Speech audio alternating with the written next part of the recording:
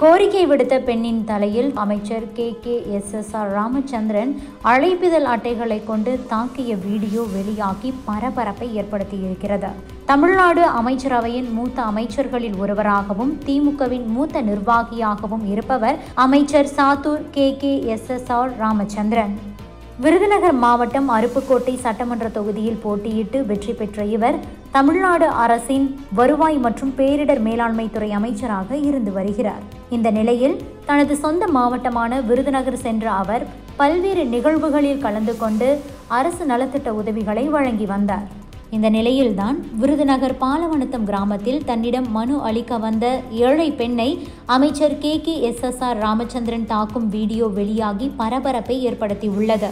பனிரெண்டு வினாடிகள் ஓடக்கூடிய அந்த வீடியோவில் தன்னிடம் கை நீட்டி பேசும் பெண்ணின் தலையில் அழைப்பிதழ்களை கொண்டு அமைச்சர் தாக்குவது போன்ற காட்சிகள் இடம்பெற்றிருக்கிறது. இதற்கு கடும் எதிர்ப்புகள் தற்போது குவிந்து வருகிறது.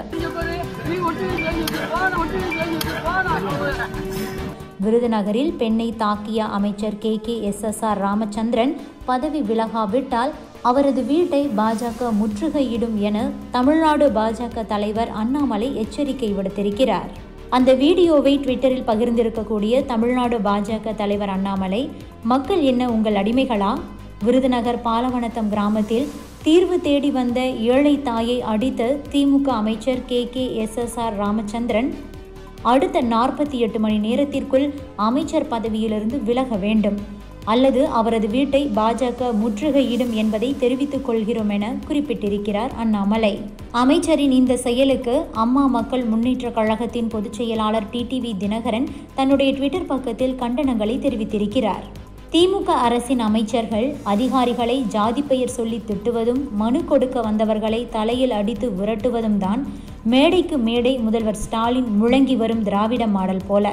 அந்த காணொளியை பார்த்தபோது ஒரு அமைச்சரே இப்படி நடந்து கொண்டால் மக்கள் எப்படி முன்வந்து ஆட்சியாளர்களிடம் குறைகளை தெரிவிப்பார்கள்?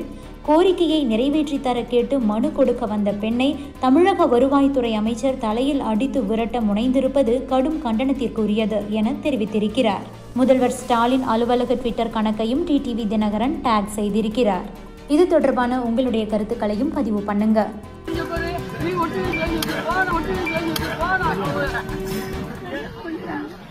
பாவனத்துக்கு அமைச்சர் வந்திருந்தாரு.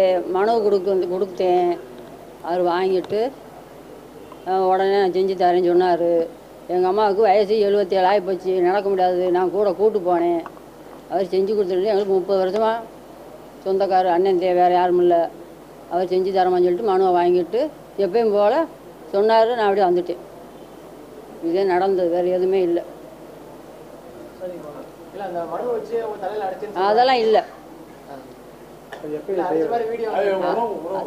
சொந்தம். சொந்தத்தை பொறுத்து அதெல்லாம் அடிக்கவே இல்லை. வாங்கிட்டு நான் தான் செய்ய போகிறேன்னு சொல்லி எதுவும் சொன்னார் வழியாக மற்றபடி எதுவும் சொல்லலை. சொல்லவும் அடிக்கவும் இல்லை. அதெல்லாம் இல்லை.